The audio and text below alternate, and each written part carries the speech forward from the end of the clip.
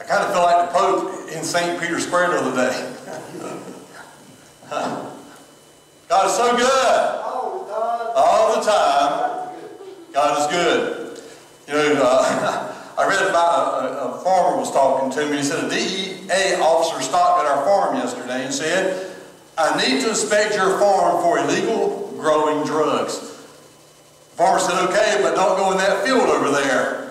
The officer verbally exploded, saying, Mister, I have the authority of the federal government with me.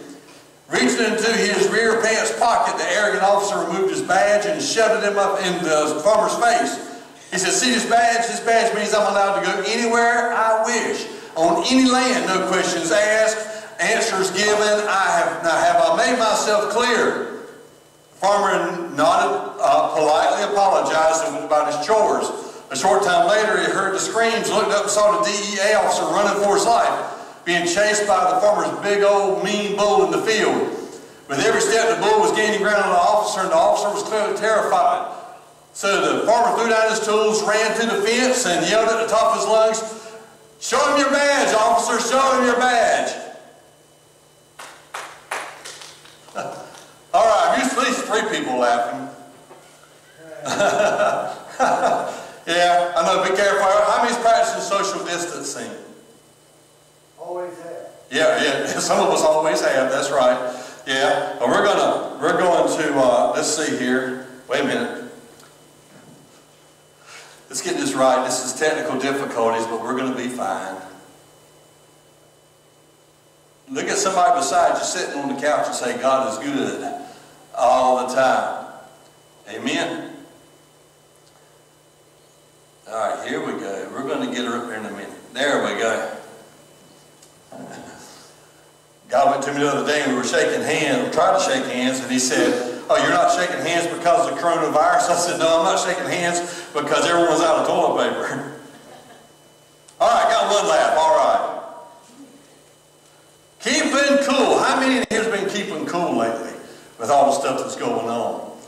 Keeping cool in a hot environment. Now, I don't know about you, but everywhere you look, everywhere you see, you know, is coronavirus, coronavirus, and, and well enough, there's been 10,000 deaths in, in Rome and or in Italy, and uh, even the Vatican has uh, got uh, some people are some of the priests are testing positive. There's some churches, the whole congregation is testing positive. Church, uh, preachers testing positive. So, so uh, the best thing to do is follow the CDC guidelines, and that is practice social distancing. And I'm so glad that God doesn't have to practice that. He's there with us all the time, no matter what. He's there as close as the mention of his name. So let's talk about keeping cool in a hot environment. Uh, uh, escape zone. I see people everywhere trying to escape. They're getting kind of wore out, staying at their house, getting kind of wore out, uh, uh trying to avoid the virus. People are wearing masks. And let me tell you this, if you're not sick, you don't have to wear a mask. You wear a mask when you're sick to keep from blowing stuff on everybody else. And if you want to wear a mask, I'm still not going to stop you. You do what you feel led. Uh, don't be criticizing people by the way they handle this because everybody handles it different. Okay, but here's the escape zone. You're trying to escape, but no matter what you do, everywhere you go, every channel you turn on, everything you look, everywhere you look, there's uh, COVID-19. COVID-19, the coronavirus 19. And so I'm going to talk to you for just a little while. Part one. This is part one. We'll finish it up next week. You know, we watch the news. The news is saturated with it. There's true news. There's untrue news. There's fair news. There's unfair news. And there's exaggerated news. And then there's the social media. There's people on the social media telling you to drink certain things and you'll be better off and do this and that and you'll be better off. Follow the CDC guidelines. There are the brains. Listen to them. They're going to tell us how to keep ourselves safe. And again, social distancing doesn't mean that you cannot talk to anybody. When I think about social distancing, I think about when I'm at Pitt Detention Center, there's a whole lot of social distancing going on in D Block. The people are definitely six foot from each other, but they still communicate, they still have a good time, they still holler back and forth to one another. Remember, this is a good time to get with your family, to have a good uh, uh, chance to enjoy them. Okay? While other distractions are out of the way. So now, here's the thing I live by all the time. This is the motto I live by. I've lived by, by it for many, many years. I live, about, live this way now. Life is 10% what happens to you and 90% how you react to it. One more time. Once I learned this and started practicing it, it changed and revolutionized my life. Life is 10% what happens to you and 90% how you respond. In any situation, remember, again, I got to say it one more time. Life is 10% what happens to you, 90% how you respond. Watching all around, fear levels are at an all-time high, and it's evidenced not by the pandemic, but it's evidenced by the pandemonium. And, and I sit back and I think about it, all these voices. I was, I mean, I, no matter where I go, I hear people say, back up. Uh, uh, I, I was in a store the other day trying to get the necessary stuff, and somebody come around the corner and saw me there, and all of a sudden they ran away until I moved and they got back, and I said, man, these people are really on edge. And so I went to a great philosopher as we're thinking, as we're talking, there's a great philosopher that showed us how to keep it cool when all these voices, when all these noises are all around you, when you can't think because of all these things that are happening around you. This great philosopher I grew up with. Matter of fact, uh, he was on, I think it was every Tuesday night, then I think they moved to Thursday night. But that great philosopher is Fonzie. How many remember Fonzie? For all of those that don't remember Fonzie, you're missing something. Okay? Fonzie shows us how to handle all the noises that are trying to drown you out and keep you from having peace. Watch this.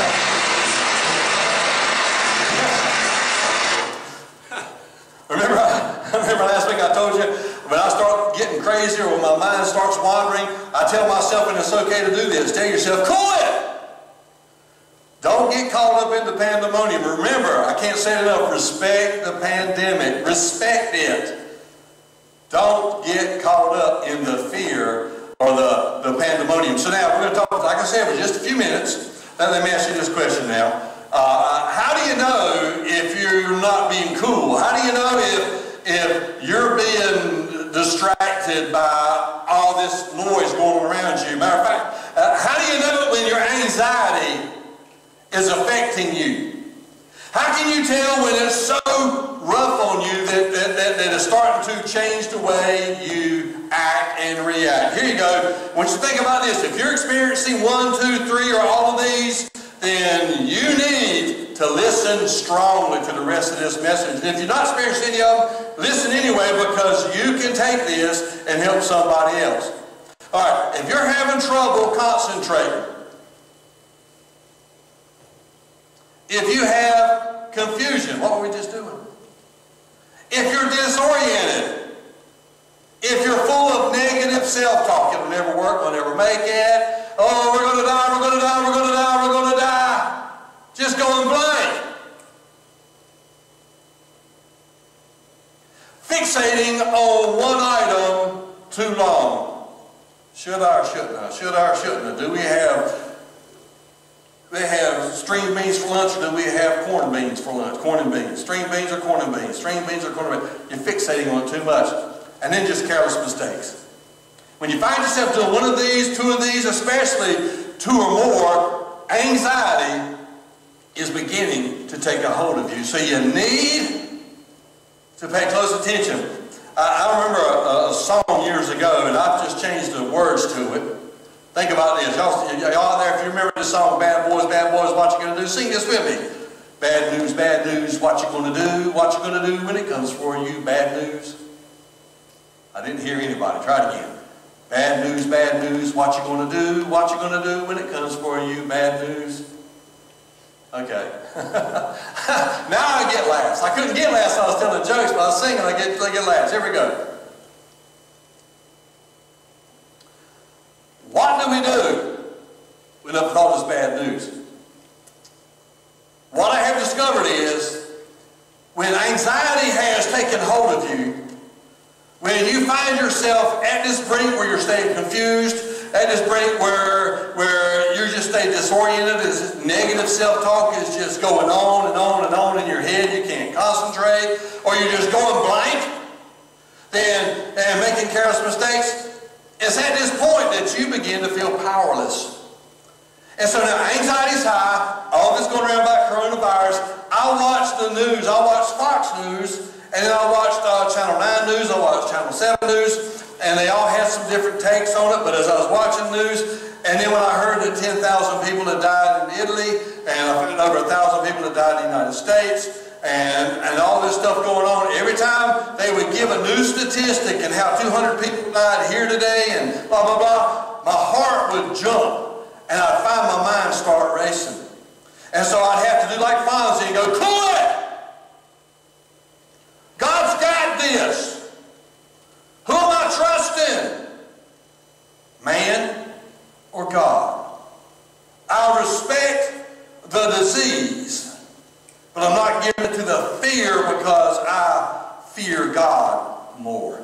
So, when you're feeling powerless, let me just tell you something. If you're feeling powerless today, you don't have to feel this way. Matter of fact, if you're watching this, I want you to feel some relief right now. It's time to take back your power. If you felt your power away, you, you, you're walking around in the daze, you don't know what's going on, you, you just tore all to pieces because of what's going on around you, take back your power. Now watch this. This is how you take back your power. When you take responsibility for your thoughts, when you take responsibility for your feelings and your behaviors, you get your power back. You become strong again. You're not trying to figure out what's going to happen next because you know what? I already know what I'm going to do. Um, when I get home, I'm going to have me a nice meal. I'm going to sit back. I might watch a John Wayne movie. I'm going to worship the Lord. I'm going to study His Word a little bit. Then I'm going to walk around the neighborhood and get some exercise. I'm going to speak to people. I'm not going to get up in a little hole, cover up my head and go, what we're going to do, what we're going to do, bad news, bad news, what we're going to do, what we're going to do when it comes to you. So watch this. Here, here, here you go. How, how do you take responsibility for your thoughts? I'm glad you asked that.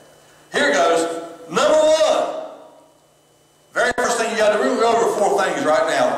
Number one is slow down. In five minutes, there was so much news, my mind could not comprehend it. While I was watching the news, I was also reading some CDC guidelines. I was also watching some other things about the virus, so it was everywhere. There was stuff hitting all at one time, and my mind was racing. Remember, cool it! Slow down. Psalm 46 and 10 says, Be still and know that I'm God. I'll be exalted among the nations. I'll be exalted in the earth. I will be exalted over the coronavirus. So, watch this. You got to slow down. Don't react immediately. Don't get that knee jerk going on and all of a sudden you're ready. That's why, that's why there's no toilet paper. Who in the world thought that when you went to Walmart now they had to ration you toilet paper? Who thought you'd go to Walmart and they would have to ration you some of the things that normally you can't give away. Because people are not acting, they're reacting.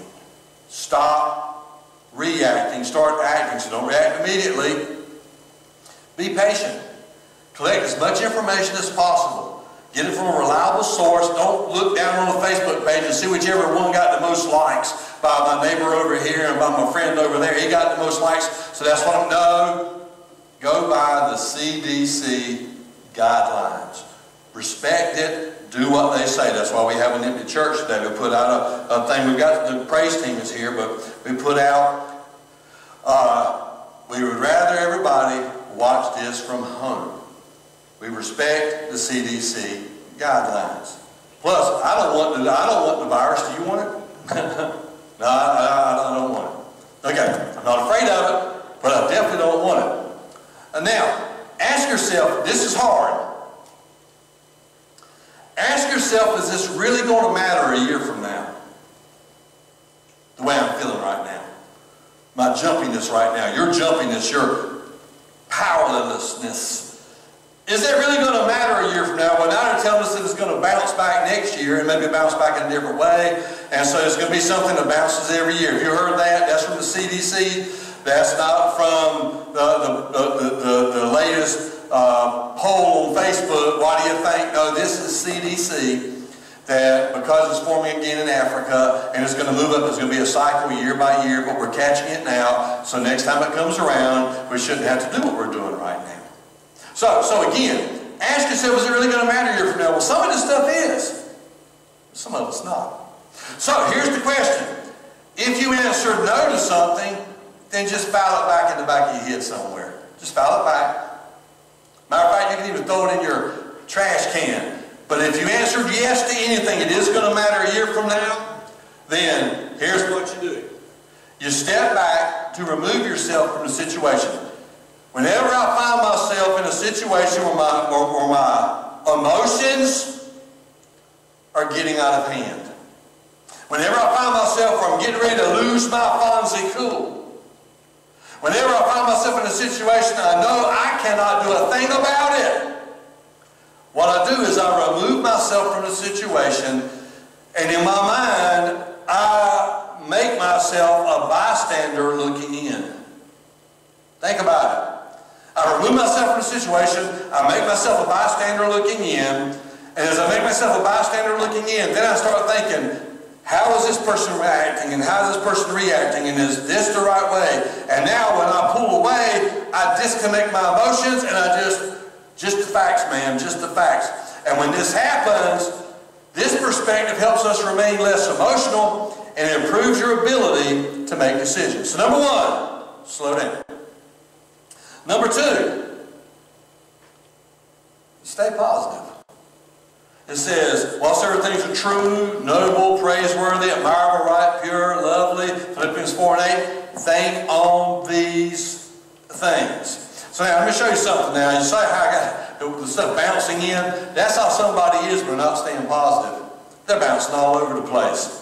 When a stressful situation occurs, your mind begins to wander because now you got stress hormones going out. And you got, four or five different stress hormones, and they're causing you to get in attack mode, and cause you to get into offense, defense mode, and cause you, cause you to get into the fight, flight, or freeze mode. And so now your thinking's all jumbled up, and you're trying to figure this thing out. So, so your mind wanders, your thoughts may be negative, and it's difficult for you to remain calm.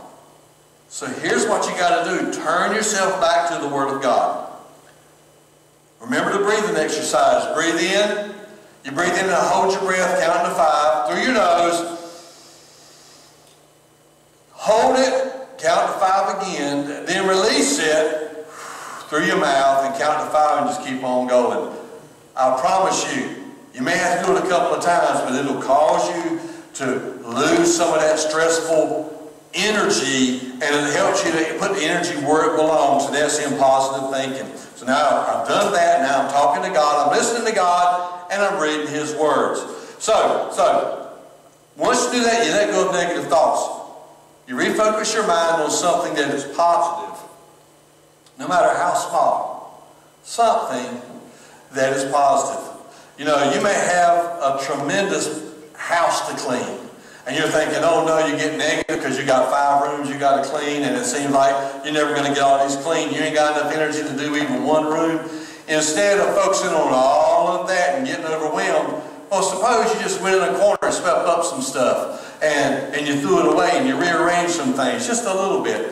Focus on that positive, not the negative. Hey, my wife and I did that yesterday in certain situations where we were trying to help out. There were certain things we could not do, but what we did do, we thought about the positive, and, and it made things a whole lot better. So, so stay positive. Here's a hard one. The Bible says, cast all your anxiety. The word cares means anxiety. Cast all your anxiety on Him because He cares for you. 1 Peter 5 and 7. Never ask, what if? What if? What if? What if? I didn't say prepare for the bad times.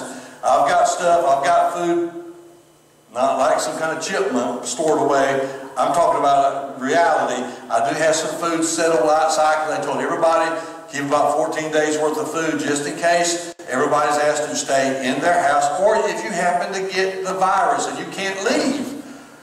14 days worth of food and water. Got it. Check it. Okay? Uh, uh, 10 years worth? No. I got what I need. But again, what if, what if, what if, what if, what if? You know, the, the worst question you can ask in the middle of a crisis begins with, what if? I'm not talking about while you're trying to plan things out. Yes, you need to plan things out. It's not wrong to say, what if all the grocery stores shut down and I need to make sure I've got my stuff here? I'm not talking about that. What if we have to be put in for 14 days and have 14 days worth of food? We're not talking about that. It's just that what if, what if, what if, what if, what if, what if, what if, what if. It induces panic. And it forces you to process situations that have not even occurred and may never happen. It'll make you run down to Walmart, get a great big old shopping cart, and buy two years worth of toilet paper. Crazy. Crazy. What if questions compound the fear and escalate the problem. Not only that, but if all you ever talk about is what if, what if, what if, what if, what if, it leads to more anxiety and you can never calm down. And then the, the final one for today is take care of yourself. Take care of your body. You see, a lot of times the Bible says in 3 John 1 and 2, Dear friend, I pray that you may be enjoy good health and that all may go good with you, even as your soul is getting along well. In other words, I want you spiritually to get with it, but also want you physically to be matching you spiritually. Do what you got to do. You know, it's amazing if you don't get enough sleep, if you don't get enough to eat, you make some bad decisions. It's bad. You see, if you take, if, if you make your personal health a priority, you'd be better equipped to handle a crisis. I remember my wife and I uh, were going up to New England, and we we took three flights on the way up, two flights on the way back, and, and I remember on those flights, the very first thing the, the stewardess did was she got up and she showed us about the oxygen. And she dropped the oxygen mask down, and she would say, if this falls down, put yours on first, because you can't help anybody else if you haven't got oxygen yourself. The same way, get some sleep. Not only get some sleep, make sure you hydrate, drink plenty of water. Matter of fact, however much water you drink now, go ahead and add a few more uh, uh, glasses to that. And if all you're drinking is Coca-Cola, all you're drinking is coffee, you got a problem. Drink some water.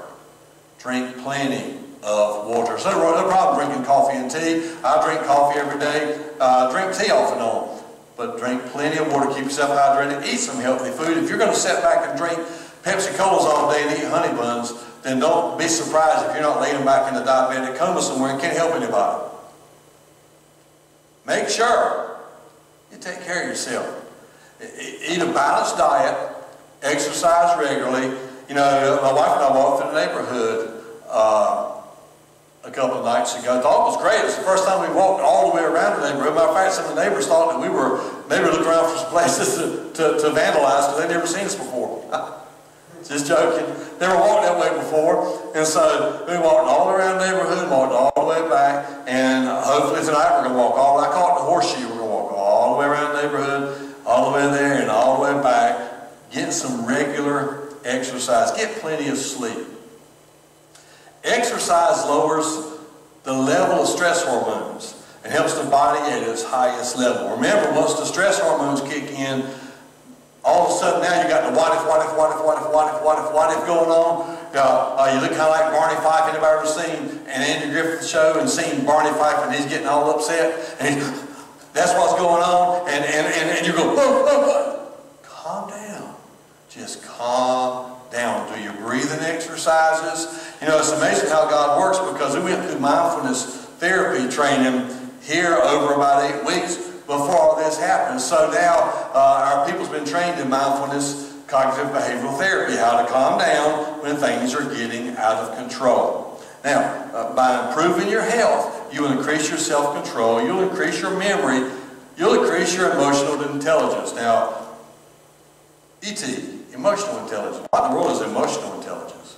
All right, you know, everybody knows what uh, uh, uh, you're, you, when you try to do it, you're, uh, uh, uh, try and check your intelligence. Let's just go with, what's this? Emotional intelligence.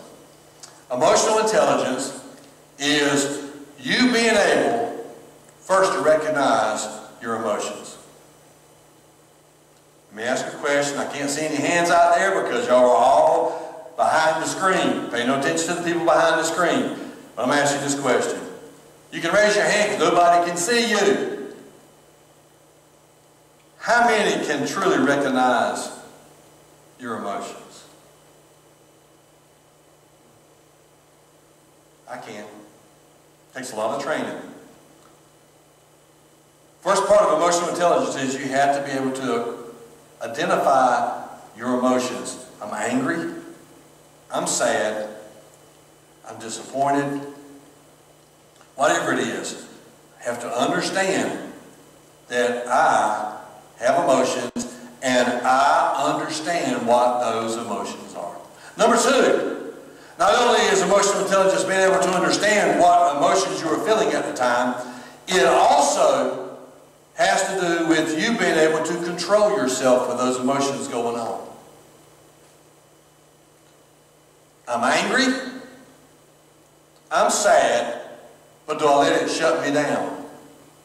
I'm angry. Do I let it cause me to get up and do something crazy, like hit the person in front of me, knock down something all around me, whatever. By emotional intelligence, I recognize I'm angry. And number two is now I'm controlling it. I'm not going to let it get out of hand. I'm going to breathe.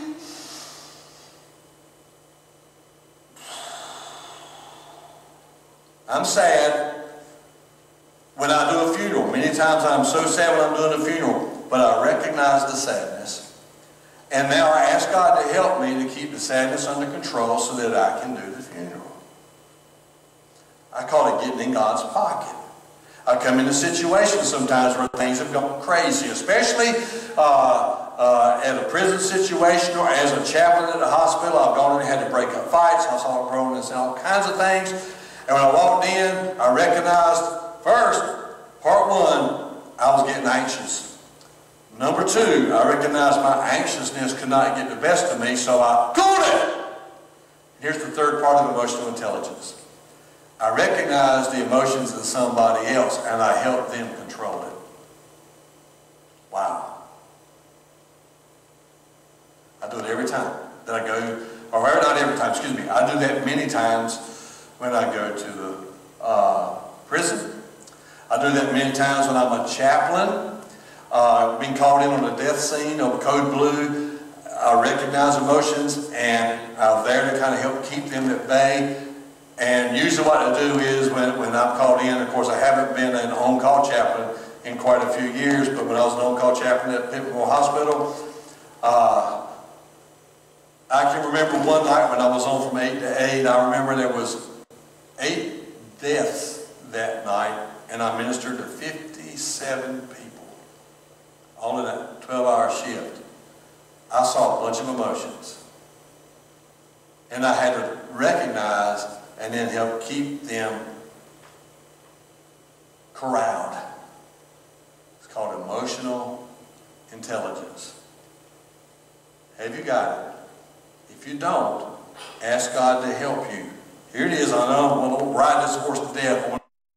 Recognize your own emotions. Number two, be able to, to corral your emotions. Number three, recognize other people's emotions and help them to corral it. That's full-fledged emotional intelligence. You're actually getting something done and you can really minister for God that way. So some, these are important characteristics that will help you to respond well in any emergency. Now, sometimes, uh, I just realize sometimes you just have to bow your head say a prayer like this coronavirus bow your head, say a prayer, and weather the storm. And be thankful that God's got this. I'm going to call the musicians up. Before I do, I want to say something. Number one, before I pray, and the musicians as they start coming up, next week, we normally have communion on first Sunday, and so next week we're still going to have communion, but you're going to have mobile. What I mean by mobile is next week, I want you to get some kind of bread. It doesn't have to be the fancy bread that you get from the Bible bookstore. You know, just any kind of bread. Get you some bread. If you don't have bread, get you some crackers, whatever. Just get you something. Because God understands this. He's not going to say, well, they didn't have bread from uh, the Christian bookstore, so they get an X on that. No, get you a cracker, get you bread, get you a cookie, get something. And then try to have some grape juice. If you don't have grape juice, just grab something. Again, God understands. He knows. And He's more concerned with your heart than anything. And so, we're going to have communion next week also. And we're going to do a mobile. It's going to be fine. Get what you can. Crackers, cookie, bread, something. And get some, if you got grape juice, get it. If you don't, get some kind of juice. If you don't have juice, get water. God understands. Now, I'm going to pray. Father, we know, Lord, that the world's in a tight spot, so to speak. There's some bad stuff going on. There's a lot of people have died. I thank God that although our nation right now may have the most cases, it's because look how much bigger than we are than Italy. But Italy having the most death, 10,000. God, help us keep things in perspective. Not be emotion driven. Have some emotional intelligence. Have some spiritual intelligence. To recognize your word and to recognize how to apply it to our life. And then help others to recognize His word and apply it to their life. Spiritual intelligence. Lord, this is your day. This didn't take you by surprise. Yes, it took all of us by surprise. The whole world is shutting down to try to keep this stuff corralled. You already knew this. You've already prepared. All you got to say peace. Be still. And it'll leave. Although it's not leaving right now, Lord, I do ask you to speak peace. Be still to the people that are watching this today.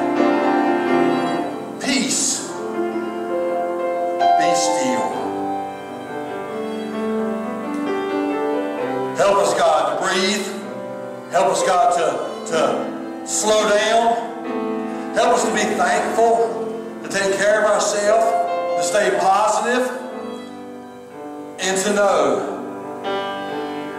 that you've got this. In the name of Jesus, we thank you for it all. Amen. The Mighty Army this morning, let me get it because I want to make sure I give it to you right. If you get Mighty Army,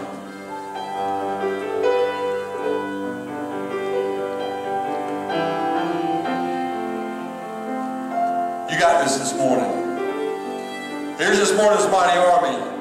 Mighty Army, if a tiny virus can do this much damage, talking about Corona. Mighty Army, if a tiny virus can do this much damage, imagine what mustard seed faith can do.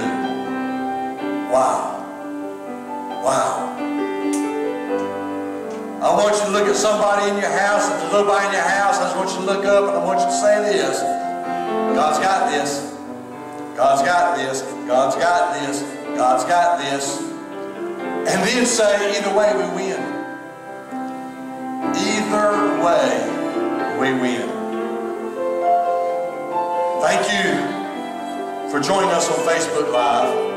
We're going to be here again next week, and we're just going to keep doing Facebook Live, period. But we're also going to do the social distancing until they tell us not to do it anymore. Thank you. God bless you. Pay attention to what you're doing. Follow the correct information and know God's got this.